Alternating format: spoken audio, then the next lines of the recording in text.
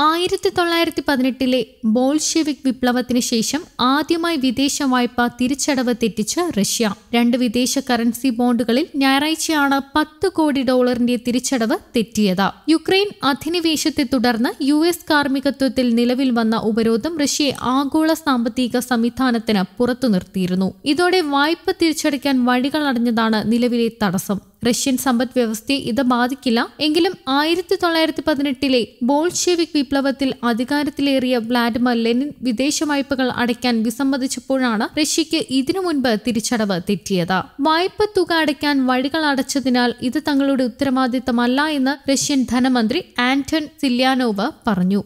ഇപ്പോഴും റഷ്യൻ എണ്ണ വിദേശത്തേക്ക് ഒഴുക്കുന്നതിനാൽ ആവശ്യമായ തുക അക്കൗണ്ടുകളിലുണ്ട്. പക്ഷേ അവ ഇടപാടുകാരിലേക്ക് എത്തിക്കാനുള്ള മാർഗങ്ങൾ ഉപരോധം മൂലം അടഞ്ഞുകിടക്കുകയാണ്. യു എസ് ഇടപാടുകാർക്ക് റഷ്യൻ ബോണ്ടുകളിൽ പണം സ്വീകരിക്കാൻ കഴിഞ്ഞ മാസം യു എസ് ട്രഷറി വകുപ്പ് ഇളവ് അനുവദിച്ചിരുന്നു. വിദേശ വായ്പകൾ സ്വന്തം നാണയമായ റൂബിളിൽ തിരിച്ചടയ്ക്കുന്നതിന് കഴിഞ്ഞ ആഴ്ച റഷ്യ സംവിധാനം ഏർപ്പെടുത്തിയിരുന്നു. ചില സ്ഥാപനങ്ങൾ ഇത് പ്രയോജനപ്പെടുത്തിയതായി റിപ്പോർട്ടുകൾ പറയുന്നുമുണ്ട്. എന്നാൽ റഷ്യ കടക്കിണിയിലായെന്ന ഊഹാപോഹങ്ങളെ തള്ളുകയാണ് റഷ്യ. ഏത് ബില്ലും അടയ്ക്കാനുള്ള പണം തങ്ങളുടെ കൈവശം എപ്പോഴും ഉണ്ടെന്നും എന്നാൽ പണം അടയ്ക്കുന്നില്ല എന്ന തീരുമാനത്തിലേക്ക് തങ്ങൾ എത്തിപ്പെട്ടതാണെന്നുമാണ് റഷ്യ വ്യക്തമാക്കിയത്.